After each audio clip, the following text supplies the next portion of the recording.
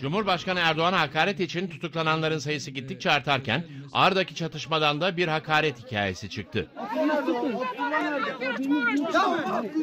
İddiaya göre Ağrı valisi Musa Işın'ın talimatı üzerine bir jandarma timi bölgeye gönderildi. Timin komutanlığını ise Üsteğmen MEA üstlendi. O Üsteğmen PKK üyeleriyle çatışmaya girdi. Çatışmada bir sivil ve bir PKK'lı öldü. Üsteğmen'in ise hafif yaralandığı bildirildi. Şey nerede ya? Brasayla sivil gelseydi bu olmazdı. Taraf gazetesine göre o çatışma sonrası dikkat çeken bir detay ortaya çıktı.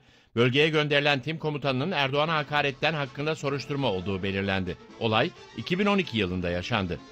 Komutanın sosyal paylaşım sitelerinde yaptığı paylaşım ve yorumlar için bazı vatandaşlar şikayetçi oldu. Bunun üzerine savcılık soruşturma açtı.